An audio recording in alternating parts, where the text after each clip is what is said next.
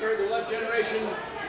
Back when I was a young hippie in sunny Salt, Arizona, trying to find some good weed,